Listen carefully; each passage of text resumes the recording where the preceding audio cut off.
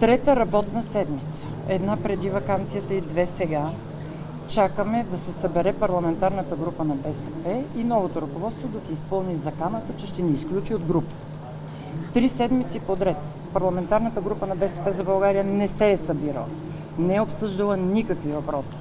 А, нито парламентарни, нито програма на парламента.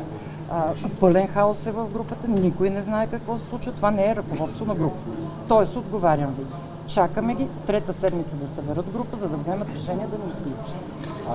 По отношение на... Да, а те чакат Борисов да ни изключи. Отзад. Какъв е Сега, пътя пред продължавам. вас в? Продължавам. Да, да.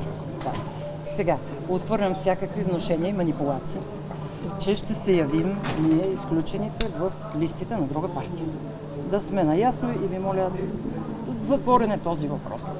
Не ни питайте повече, боля не го пишете. Няма да се явяваме в листи на други партии. А, над всичко в политиката стои достоинството и морал. Така че а, поканени сме. Сигурно оттам тръгват вашите въпроси. Кой ви покани? Поканени сме от други партии да бъдем в листи. Отказали сме.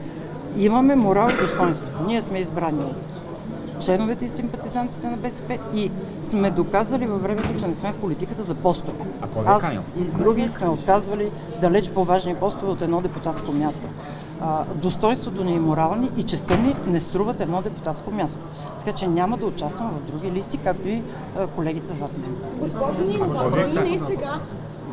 Бихте ли направили собствена партия, ако бъдете изключени? Ние сме изключени от партията. Вероятно ще ни изключите от групата.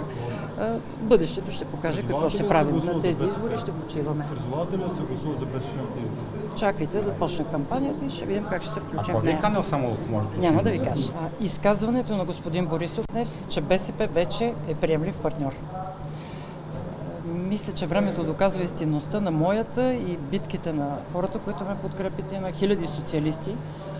А, Да спасим БСП от задколисието, от така лапите на Борисов, който обича да прегръщи и унищожава партии, е днес успя. Закачи си скалпа на БСП на колана също, както на много други партии. Да припомня, че доскоро на конгрес на ГЕРБ беше прието, че БСП е абсолютно неприемлив партньор. Какво се промени от това изказване до сега? Едно единствено нещо. Не съм председател на партията. За това, от- поне от един месец ви говорим, че става въпрос за предателство в БСП, за преврат в БСП. И не просто за смяната на Корнелия Нинова с Зафиров, а за промяна на, на линията, на политиката, на курса на БСП. БСП влиза, след това изказване на Борисов, трайно в лапите на паралелната държава и на задколисието, срещу което се боря 8 години безспирно. Ясно е и защо се стигна до тук. Смятат, до- какви смятате ли, че това е, смятате ли, че това е провокация от страна на Борисов или по-скоро новото ръководство на БСП имат такъв план да управляват заедно с Или ГЕРБ?